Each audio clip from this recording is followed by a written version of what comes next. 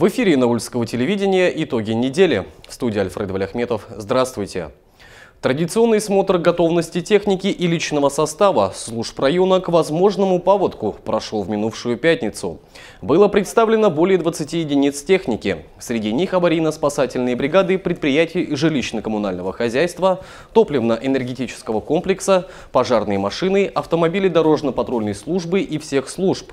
Все они активно участвуют в ликвидации последствий чрезвычайных ситуаций. Технику осмотрел глава администрации района Ильшат Базигатов. Он отметил хорошую подготовку участников и наличие соответствующего снаряжения и оборудования. К сожалению, в последние годы источников прогнозирования много. Одни говорят, что будет большой повод, э, большое половодье, кто-то успокаивает, что большого половодья не будет. Но мы должны быть э, готовы ко всем критическим ситуациям. Э, то есть мы должны быть в большой воде готовы. И даже в том плане, если у нас накопленного снега на полях мало, но любой дождливый период может к резкому таянию привести и большое половодье вызвать. Хотя у нас критичных таких гидротехнических сооружений нет, э, Янаулка очищена сегодня. Э, поэтому э, надеемся, что не придется большие силы и средства задействовать. Очередной инвестиционный час при главе администрации района прошел 12 марта. В этот день рассмотрели два проекта. Индивидуальный предприниматель Олеся Куляпина представила вниманию свой проект организации химчистки. Для дальнейшего развития бизнеса ей требуется дополнительное помещение. Предприниматель получила консультацию специалистов. Также ей предложили возможные варианты решения вопроса аренды. Вторым участником инвест-часа стала Ирина Гельмулина. В планах ее семьи, уже имеющей личное подсобное хозяйство, создание пруда для разведения гусей. Она получила подробную инструкцию для реализации проекта. Первый шаг – это оформление аренды выбранного участка в Орловском сельском поселении. У каждого предпринимателя э, были свои вопросы. Ильшат Акзамович дал поручение ответственным лицам для того, чтобы их вопросы по мере возможности были решены. Также напоминаю, что любой желающий может стать участником предпринимательского часа.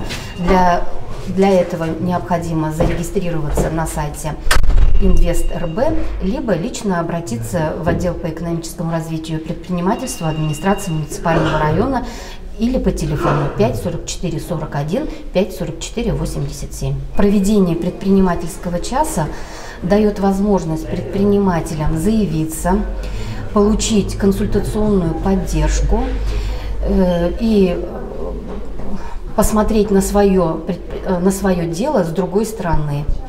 И это дает импульс для развития как предпринимательства в целом, так и экономики в целом. Очередной пленум районного общества ветеранов прошел в зале школы искусств 12 марта. На собрании были приглашены председатели первичных ветеранских организаций и руководители социальных служб. В фойе прошла акция «Проверь свое артериальное давление». Председатель районного совета ветеранов Рима Фазылова представила новых членов совета, поздравила юбиляров и вручила им памятные подарки. Главным вопросом дня стала подготовка проведения Года памяти и славы. Для этого был организован оргкомитет и создан план мероприятий. Начальник управления образования Эльвира Шаихова рассказала о том, как ведется патриотическое воспитание в школах района. Ежегодно разрабатывается план по проведению разных тематических уроков, кружков, встреч и творческих работ. Работает тимуровская команда. Оказывается шефская помощь нуждающимся и пожилым людям. Также школьники помогают в сохранении памятников и обелисков. Участникам пленума вскоре присоединился и глава администрации района Ильшат Вазигатов. Он рассказал о предстоящих масштабных мероприятиях, запланированных в этом году. Это и 75-я годовщина Великой Победы, праздник Плуга Сабантуй, 90-летний юбилей района. Летом 2020 года наша республика ожидает иностранных гостей. Янаульский район участники Всемирной фольклориады планируют посетить 21 июля. В сентябре россиян ожидает единый день голосования. Ильшат Вазигатов призвал активно принять участие и в предстоящем голосовании 22 апреля за внесение изменений в Конституцию Российской Федерации. Поддержать документ или выступить против него смогут все граждане старше 18 лет, кроме недееспособных и заключенных. Пленумы э, проводятся в районном совете ветеранов э, почти каждые три месяца. Мы э, выносим туда самые актуальные такие вот вопросы, то, что мы, ветеранской организации, ветераны, можем способствовать проведению того или иного мероприятия, улучшить жизнь наших ветеранов. Между ними проводятся у нас отдельные заседания, там тоже обсуждаем свои внутренние вопросы. Вот сегодня у нас э, самый большой вопрос был о ходе проведения Года памяти и славы в честь 75-летия Великой Победы в годы войны. Вопросов очень много. Э, здесь в этом году с выделением материальной помощи и труженикам тыла очень много возникает вопросы. Вот сегодня наши ветераны получили уже на профессиональном уровне э, ответы на свои вопросы. Вот в этом плане. И потом еще не единым хлебом сыт человек. Мы посмотрели, как мы воспитываем э, молодежь, детей, детей школьного возраста. Выступили начальники управления образования, культуры, э, молодежи, пенсионный фонд и так далее. Э, и э, самое главное, мы должны воспитать своих детей вот на таком уровне, чтобы они могли передать какая была эта война, какая это была трагедия для нашей страны, даже э, для своих детей, для своих внуков, даже они, оказавшись за рубежом, чтобы они могли остановить вот эти вот страны, которые стараются изменить полное содержание Второй мировой войны. И роль в этой войне э, Советского Союза, они должны знать историю и дать полноценный ответ. В Янаульском районе вручили первые сертификаты на получение материнского капитала в связи с рождением в семье первенца. Напомним, 1 марта президент России Владимир Путин подписал закон об изменениях в программе материнского капитала. Одно из главных нововведений – возможность получить его за рождение первого ребенка. Глава администрации района Ильшат Вазигатов и начальник управления Пенсионного фонда России в Янаульском районе и городе Янауле Ульнара Вильданова поздравили мамочек с таким значимым событием. В торжественной обстановке семь молодых женщин получили право на распоряжение материнским капиталом на сумму 466 тысяч 617 рублей. Примечательно и то, что среди обладателей сертификатов были и те, кто подал заявление на его получение только вчера, а уже сегодня принимал поздравления и цветы. Конечно, рада, очень рада. Мы родились в январе, а мат-капитале даже думать не думали. Ну, это было неожиданно приятно, неожиданность, конечно. Вот. Не для этого, конечно, старались. Для себя любимых ребенок долгожданный, желанный. Вот. Но мат-капитал на что будем тратить? На жилье. У нас ипотека есть. Хотим строиться. Туда планируем. Многодетная жительница Янаула Наталья Хмелева нуждается в нашей с вами помощи. Последние два года она борется с тяжелыми последствиями онкологического заболевания. История женщины, не потерявшей надежду и веру в чудо, далее в нашем эфире. Так, Потом я.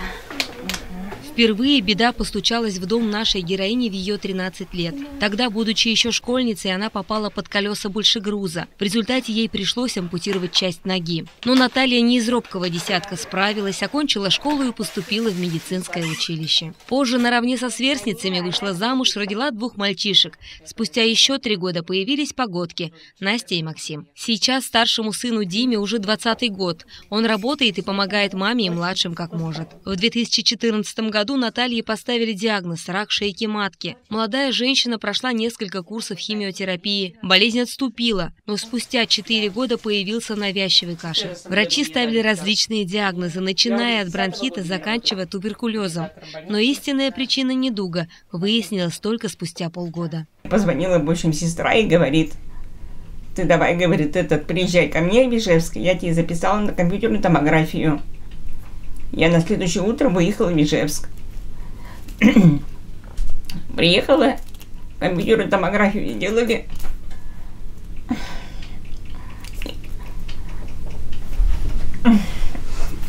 Мне сказали, что у меня объемное образование в легком уже. Четвертая степень показывает. Я начала там обследование проходить, так как сестра у меня там живет. Думала, может, операцию сделают, она хоть ухаживать будет. Вначале платно проходили мы обследование, потом она прописала меня у себя. Во временной прописке нам вот ну, давали как бы квоты. Прошла обследование, и мне врачи сказали, что ничем помочь не могут, можно домой ехать умирать. Так и сказали, консилиум врачей был, паллиативная помощь только была. Я домой приехала, мне старший сын говорит, мама, ты же в четырнадцатом году лежала в Уфе, езжай туда. Мы поехали с ним в Уфу. Ну, там врачи меня обнадежили сразу. Хороший врач попался. Бадеев фамилия. Бадаев или Бадеев ли. Он мне сказал, что это все лечится, не переживай. Мы тебя на ноги все равно поставим. И вот я по новой там снова прошла обследование, и мне назначили химию.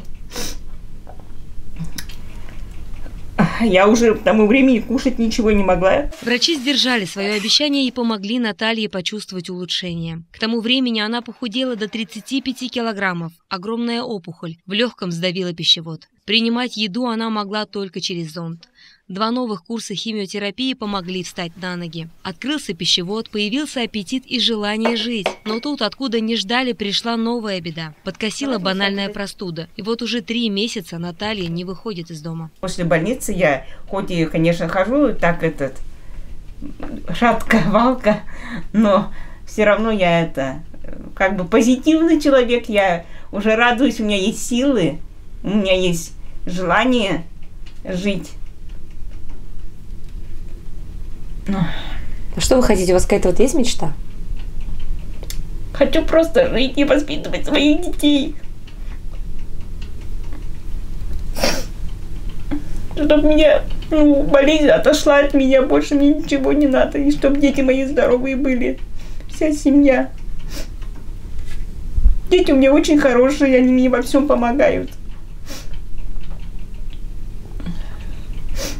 Хочу просто жить чтобы я увидела своих внуков. Рядом с Натальей всегда ее любимые дети. Средний сын Данила – первый помощник по хозяйству. Моет полы и посуду. Настя помогает в готовке. Не забывают и близкие подруги, готовые прийти на помощь в любой час дня и ночи. Мы работали тогда вместе с ней вот, в такси. Тогда узнали. Ну, да, тяжело было. Мы даже вот, я даже не могла ей, я не знала, что ей сказать как поддержать ее. Вот у меня не было в тот момент слов. Как-то вот и она уехала на обследование в Ижевск. Мы чисто, ну, по телефону только мы общались уж. И всегда, когда у меня есть свободное время, я всегда приезжаю к ней. Всегда, когда есть время, стараюсь прийти с ночевкой, я приезжаю. И с детками мы поем, пляшем, телевизор смотрим, и в бане купаемся – такой яркой и энергичной наша героиня была еще несколько лет назад. Глядя на фотографии румяной девушки с огромными зелеными глазами, трудно узнать Наталью сегодня. Здоровой и красивой помнят ее и дети, и очень хотят жить так, как раньше.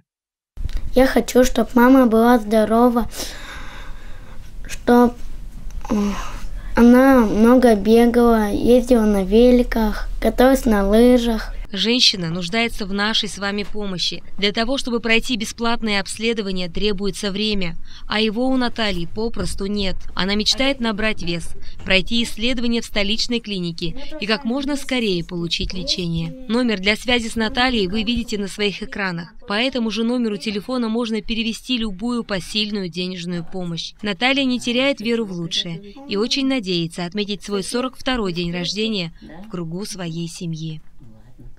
Веселый смех и раскаты аплодисментов не умолкали вечером 11 марта. В межпоселенческом культурно-досуговом центре прошел полуфинал Янаульской лиги КВН. Участие в игре приняли 11 команд из двух городов. Кто, по мнению жюри, стал самым веселым и находчивым, расскажет Резиданова Крещенова.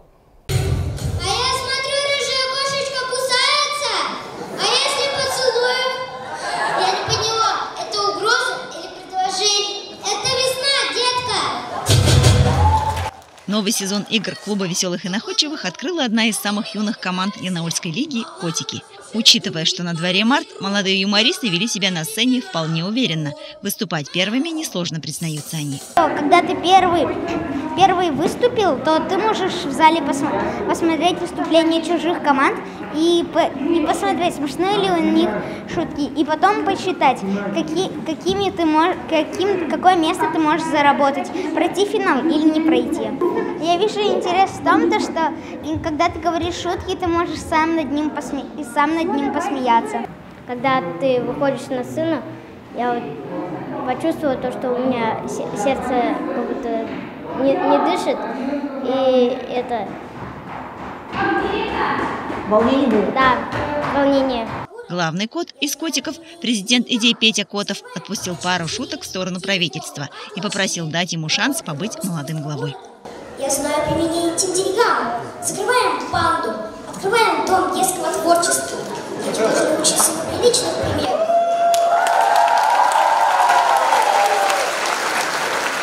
В центре города открываем KFC, а то каждый раз, чтобы поесть из ведра, приходится в Нефтекамск ездить.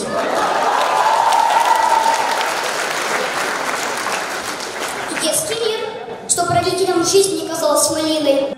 Участницы команд «Одноклассницы» позвали на помощь своих старших братьев. И все для того, чтобы войти в финал.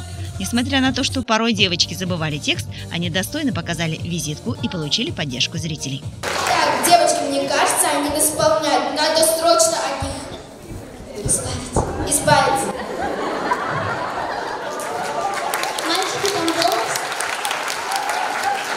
Придумывать шутки, конечно, тяжело. Мы ну, уже готовимся за два месяца до КВН, а так, когда на сцене, то волнительно только. С выходом каждой команды на сцену градус юмора повышался. Девушки гимназии с иголочки неожиданно для всех пригласили на сцену председателя жюри Альбину Соляхову и пошутили по девичьи. Этот пакет вам. Спасибо огромное. Присаживайтесь. Те шутки, которые они применили по отношению ко мне, они действительно были такие жизненные, скажем так, и зал, по-моему, они прошли. Зал эти шутки понял и принял.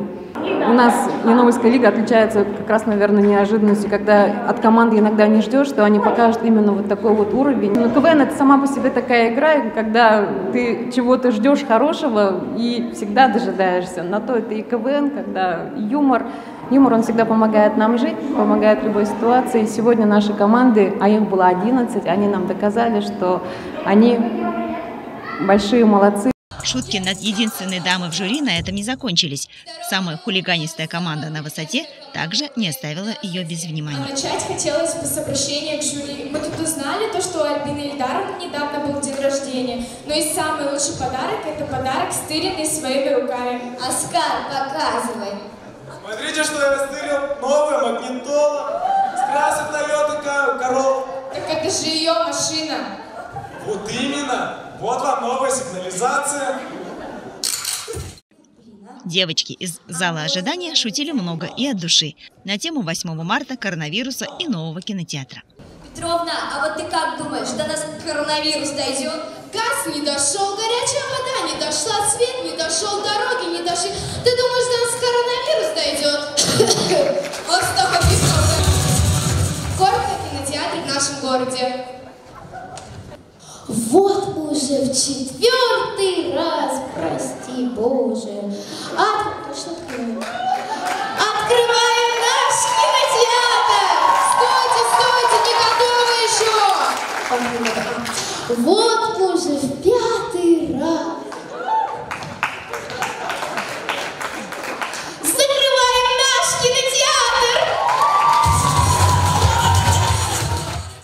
Участники команды «Квант», как всегда, выясняли отношения. Девочки разбирали подарки на 8 марта, а под конец выступления вовсе решили сесть на правильное питание. Мне очень нравится играть в КВН. Мне это приносит удовольствие. Вообще все шутки понравились, все команды молодцы.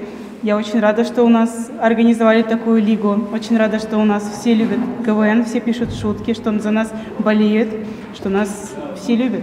Я боюсь, что кто-нибудь из вас не поцелует. Моя женщина этого не поймет. Айнур, может, хватит называть маму своей женщиной? К сожалению, в ходе игры возникли технические неполадки, но настоящим КВНчикам и это не стало помехой. Красивая сборная башкирской гимназии из Нефтекамска отлично справилась с внештатной ситуацией. Мальчики, вы вообще какие-то несовременные. В смысле мы несовременные? Ты вообще знаешь, на каких известных блогеров мы подписаны?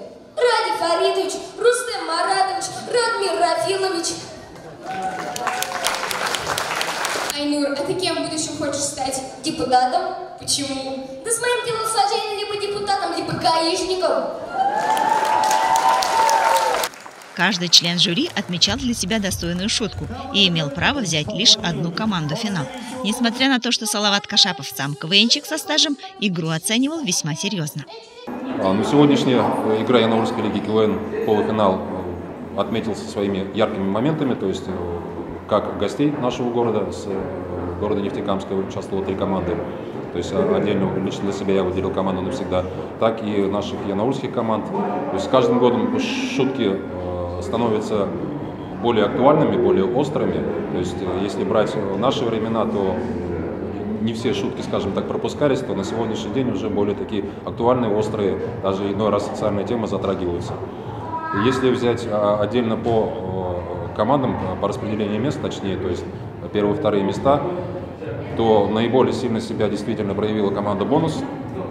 То есть сегодняшнее ее выступление было, скажем так, одним из сильнейших на из, тех выступлений, которые были до этого момента. А у команды поколения э, средней школы номер 6 города Нефтекамска я для себя лично выделил э, шутку про э, змей, которые разговаривают на башкирском и татарском языке. То есть это, это было что-то ну, не, такое необычное, и мне понравилась актерская игра участников команды. Параллельно шло голосование в социальной сети. Команда «Бонус» набрала максимальное количество лайков и по праву заняла первое место. На второй позиции «Красивая сборная», третьими стали ребята из команды «Навсегда». Не обошлось в этот день и без приятных сюрпризов. С легкой руки ведущего в финал Янаульской лиги прошли все 11 команд. Из Данова Крещенова Артур Мухамеджин, служба новостей Янаульского телевидения. Таковы события уходящей недели. Впереди нас ждут выходные дни, проведите их с пользой.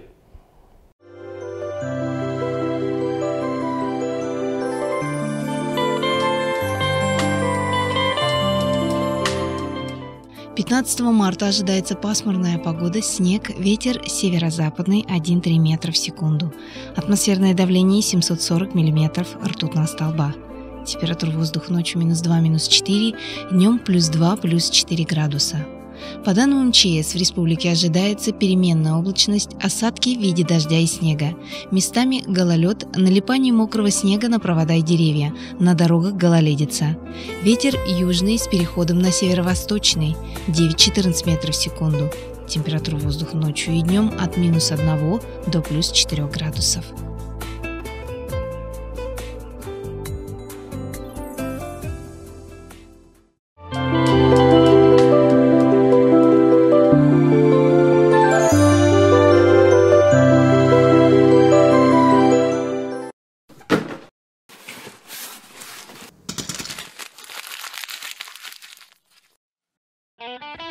Внимание! В аптеках Farmland феноменальный кэшбэк 10% на все покупки от 500 рублей. Скидки сохраняются. Приходи, покупай, экономь с Фармлендом.